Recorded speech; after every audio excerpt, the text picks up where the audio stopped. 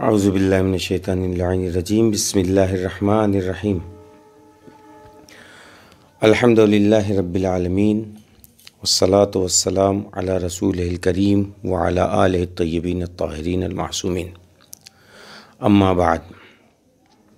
ناظرین، السلام علیکم ورحمۃ اللہ وبرکاتہ۔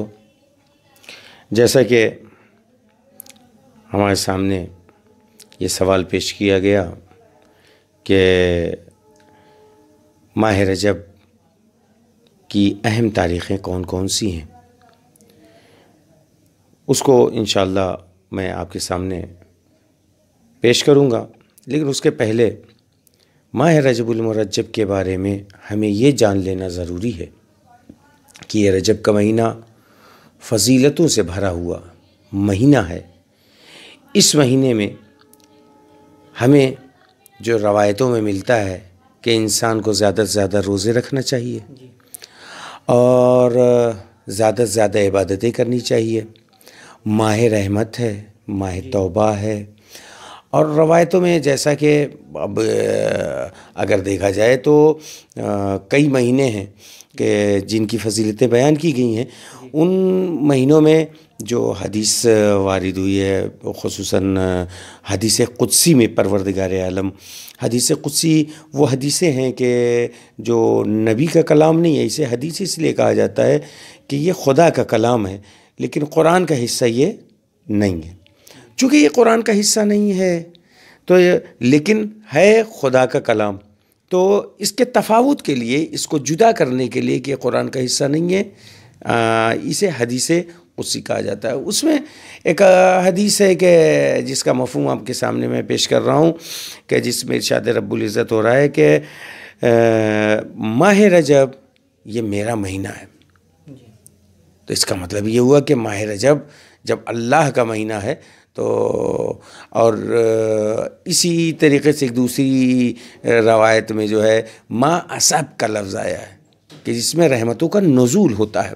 تو ظاہر سی بات ہے، جس مہینے میں رحمتوں کا نزول ہوتا ہے پروردگار عالم کی جانب سے، اس مہینے کی ہمیں مناسبت کہ آخر یہ نزول کیوں ہوتا ہے؟ آخر اس مہینے کو فضیلت کیوں حاصل ہے شاید یہ وجہ ہے کہ اس مہینے میں جو مناسبتیں پائی جاتی ہیں، اس کے برکتوں کے سبب، اس کے برکتوں کے سبب پروردگار عالم نے ہمیں وہ وجود بخشا ہے ماہ رجب کی شکل میں کہ جو ان مناسبتوں کی وجہ سے اس کو فضیلت بخشی گئی ہے۔ شاید یہی وجہ ہو۔ وہ مناسبتیں کون کون سی ہیں؟ اہم اہم تاریخیں کون سی ہیں؟ اگر دیکھا جائے تو سب سے پہلی ہی تاریخ۔ سب سے پہلی تاریخ ماہ رجب کی جو ہے، وہ ولادت امام محمد باقر علیہ السلاۃ والسلام ہمارے پانچویں امام۔ آپ کی ولادت اس تاریخ میں ہوئی۔ یعنی پہلا ہی دن جو ہے اتنا بابرکت ہے امام محمد باقر علیہ السلام کے بارے میں۔ آپ سب کے جانتے ہیں کہ آپ کا نام محمد تھا۔ لیکن آپ کو باقر کہا گیا۔ کیوں؟ باقر کہتے ہیں کہ گتھیوں کو کھولنے والا۔ اسی لیے جب بھی امام باقر علیہ السلام کا نام لیا جاتا ہے تو آپ کو باقر العلوم کہا جاتا ہے۔ باقر العلوم کا مطلب کیا ہوا؟ باقر العلوم کا علم کی گتھیاں کھولنے والا۔ اور باقر اگر تاریخ میں یہ دیکھا جائے تو پانچویں امام نے بہت کام کیا ہے۔ علمی وہ گتھیاں اور سب سے پہلی اسلامی یونیورسٹی کا قیام امام محمد باقر علیہ السلام کے زمانے میں ہوا، جو آپ نے کہاں پہ کیا؟ مدینہ منورہ میں۔ اور اس کی اس مہینے کی سب سے پہلی یعنی دوسری اہم جو تاریخ ہے، وہ سب سے پہلی جمعرات ماہ رجب کی جو ہے، شب جمعہ، اس کو لیلت الرغائب کہا گیا ہے۔ اس کے اعمال مفاتح الجنان میں تفصیل سے موجود ہیں کہ ان اعمال کو بجا لانا۔ اور اس کے علاوہ، اس مہینے کی فضیلت یہ ہے کہ اس مہینے کے پورے مہینے کے جو ہے، روزہ مستحب ہے۔ اور اگر کوئی انسان کسی مجبوری کی بنیاد پر اس مہینے میں روزے نہیں رکھ سکتا ہے، تو کم سے کم وہ آخر کے تین دنوں میں، اس مہینے کے آخر کے تین دنوں میں وہ روزے رکھ لے، اسے پورے مہینے کا ثواب انشاءاللہ پروردگار عالم عطا کرے گا۔ دوسری اہم مناسبت جو ہے اس دن میں، وہ تین رجب۔ تین رجب کو کیا ہے؟ شہادت امام علی نقی علیہ السلام۔ ہے امام علی نقی علیہ السلام کون سے امام ہیں؟ ہمارے دسویں امام۔ اس کے بعد پانچ رجب۔ اسی امام کی ہمارے دسویں امام امام علی نقی علیہ السلام کہ جنہیں امام ہادی بھی کہا جاتا ہے آپ کی ولادت کی بھی تاریخ ہے ایک روایت کے مطابق۔ اس کے بعد دس رجب دس رجب کو ولادت ہے امام محمد تقی علیہ السلام کی ہمارے نم امام۔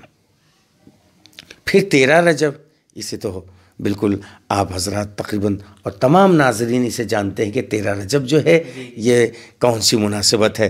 جشن مولود کعبہ کے نام سے ہم لوگ جشن مناتے ہیں یعنی مولا کائنات امیر المومنین علی ابن ابی طالب علیہ السلۃ والسلام کی اس دن خانہ کعبہ میں اور جوف کعبہ یعنی وسط کعبہ درمیان کعبہ میں آپ کی ولادت ہوئی ہے۔ اور یہ ولادت بیست سے بارہ سال پہلے ہوئی۔ اور ایک مناسبت کیا ہے؟ پندرہ رجب۔ اس کے بارے میں بہت کم ہمارے اس ہندوستان میں اور بر صغیر میں اس کے بارے میں، اس مناسبت کے بارے میں کم جانتے ہیں۔ کیوں؟ اس لیے کہ ایک روایت کے مطابق پندرہ رجب کو جناب زینب کبرا اولیاء مقام کی شہادت کی تاریخ ہے، پندرہ رجب۔ اٹھارہ رجب۔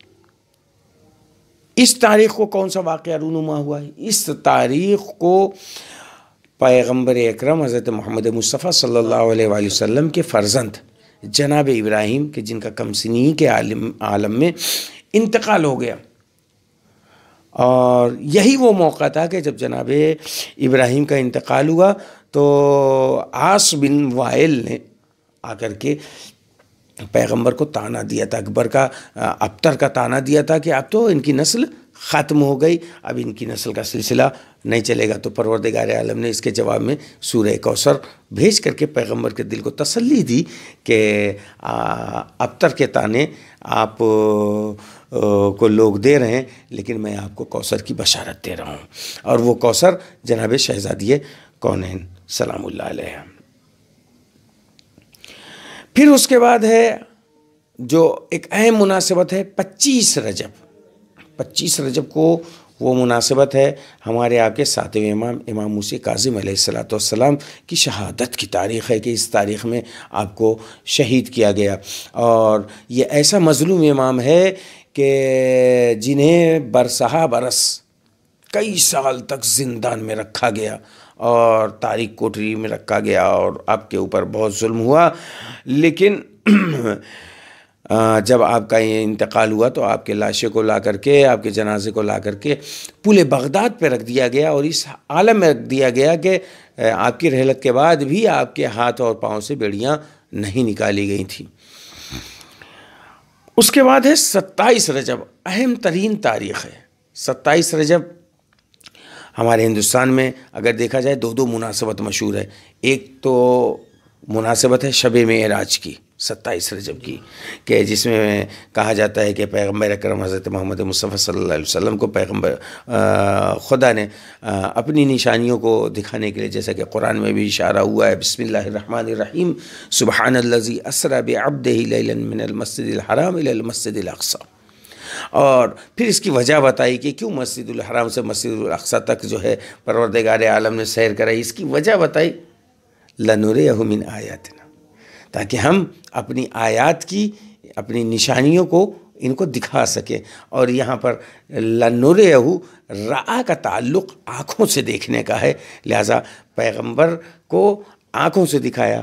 لہٰذا ایک بات اور یہاں پہ یہ واضح ہو جاتی کہ پیغمبر کی معراج جسمانی تھی، روحانی نہیں۔ اس لیے کہ روحانی جب ہوتی ہے تو خواب دیکھتا ہے۔ خواب دیکھنے کے لیے آنکھوں کا ہونا ضروری نہیں ہے۔ لیکن لنور جو کلمہ استعمال کیا ہے اس کا مطلب کہ پیغمبر کی معراج جسمانی تھی، اس لیے کہ آنکھوں سے دکھانے کی بات ہو رہی ہے۔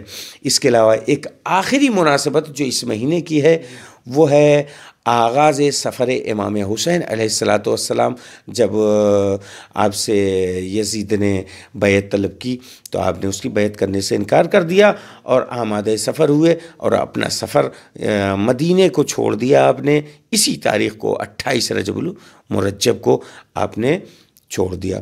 اور ہاں ایک مناسبت جو دوسری رہ گئی، ستائیس رجب کی۔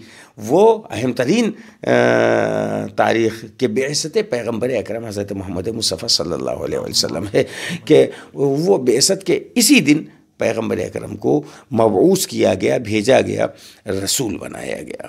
یہ اہم تاریخیں ہیں ماہ رجب المرجب کی۔ انشاءاللہ ہمارے ناظرین، میں نے صرف اشارتاً یہ بیان کیا ہے کہ تاکہ ہم آگاہ ہو جائیں کہ کون کون سی مناسبتیں ہیں ماہ رجب میں۔ انشاءاللہ ہمارے ناظرین کوشش کریں گے ان مناسبتوں کے حوالے سے مطالعہ کریں گے اور اپنے علم میں اضافہ کریں گے۔ خدا وند مطالعہ سے دعا ہے کہ اس پیغام عزاداری یوٹیوب چینل کے ذریعے سے جو دینی پیغامات پہنچائے جا رہے ہیں، مومنین اس سے استفادہ کریں اور زیادہ سے زیادہ تعداد میں لوگوں تک پہنچائیں تاکہ ان باتوں کی طرف دوسرے لوگوں کا بھی اور اپنے تمام مومنین بھی اس سے استفادہ کر سکیں اور اپنے مطالعے کے ذریعے سے اپنے علم میں بھی اضافہ فرمائیں۔ خدا وند کریم سے دعا ہے کہ ہم سب کی توفیقات میں اضافہ فرمائے۔ السلام علیکم ورحمۃ اللہ وبرکاتہ۔